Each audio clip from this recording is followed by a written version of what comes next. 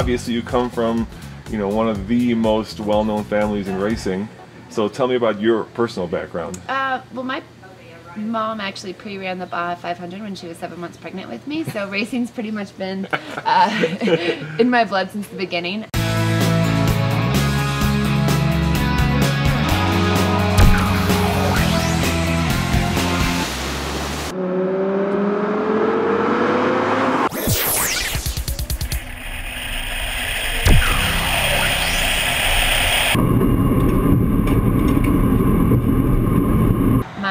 Brother has raced NASCAR and IndyCar, uh, the Dakar Rally, a bunch of off-road stuff. Uh, he's actually started his own series now. My sister is the only female to win the Baja 1000 overall. And then in 2006, her and I started All American Girl Racing, and we're the only all-female team to ever finish the Baja 1000. Wow, so that's quite the impressive resume. So Well, you, it's a family resume. It's It's, not fa- necessarily just my resume. so it, it, it- it's in your blood. yes. Um, And I actually married into it too. So my husband is Ryan Hunter-Reay, the IndyCar driver.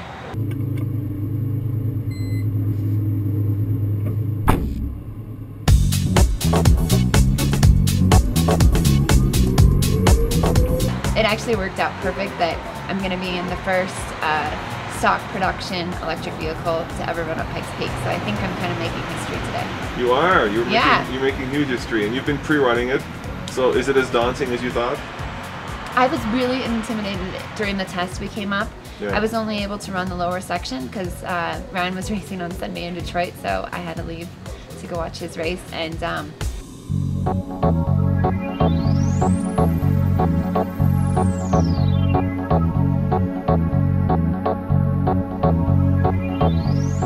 we drove up the middle section, well, all of the way to the top actually, but uh, in a passenger car.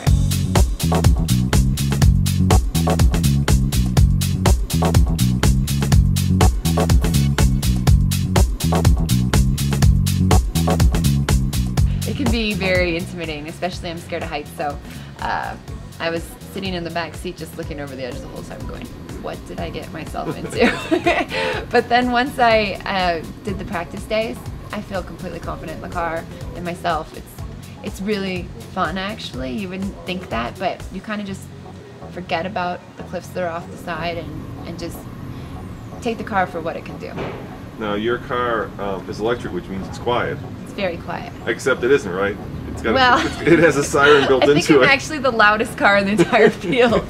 I have uh, an ambulance siren on my car. So uh, the Pikes Peak promoters, they make it, uh, they regulate it, so you have to be able to have like an audible sound so fans can hear you coming because they will cross the road and everything else, and you really can't hear the electric car at all when it's when it's normally running. So um, I got yeah, I got a siren.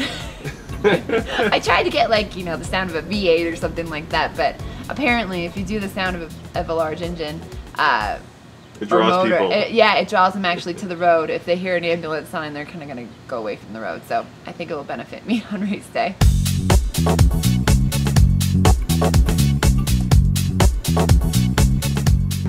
You- couldn't get much different, right? Going from an off-road kind of Baja experience to going now it is completely on-road electric car experience. Well, and that was the thing when Roger first asked me. I kept thinking it was still unpaved, and Yeah. so I thought "Ah, this is perfect for me. And I've only raced on pavement once before. I do a lot of go karting, but I raced at the Long Beach Grand Prix Celebrity Race, Celebrity Pro Race, and um,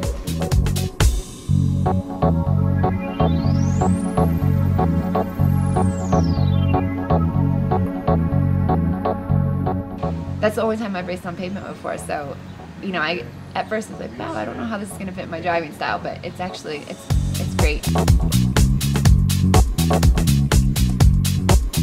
I like that it's um, paved all the way to the top now, and I really think this weekend, you know, obviously it's gonna set a new record, but people have to keep in mind that there's gonna be three records. There's the complete dirt, half and half, and then now the all pavement. So even though it's gonna, for sure, it's gonna beat you know the times from last year, kind of irrelevant in a way Yeah. because we're kind of starting over with history. Yeah, it's apples oranges. Yeah.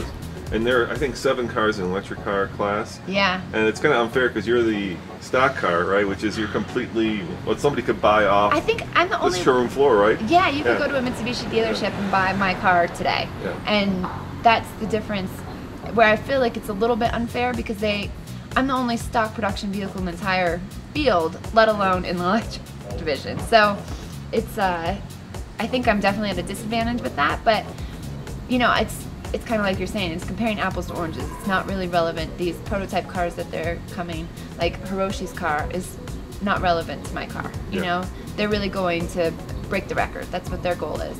And um, my goal is just to prove that you can buy a stock production Mitsubishi. I may drive it up the mountain. It's going to survive. It's going to definitely have enough battery life, and it's going to regenerate itself on the way back down.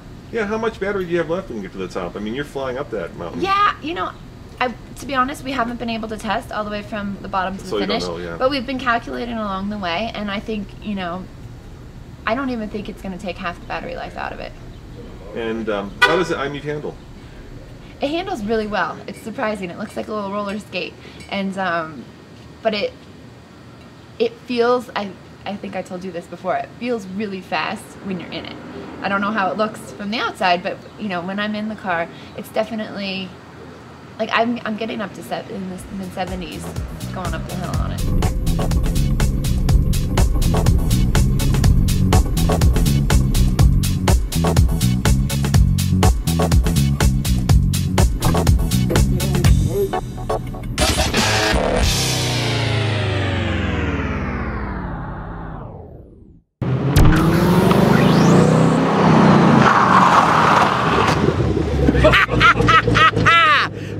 Gentlemen, I am in the fastest, baddest ass Camaro ever made in history. This, my friends, is the ZL1.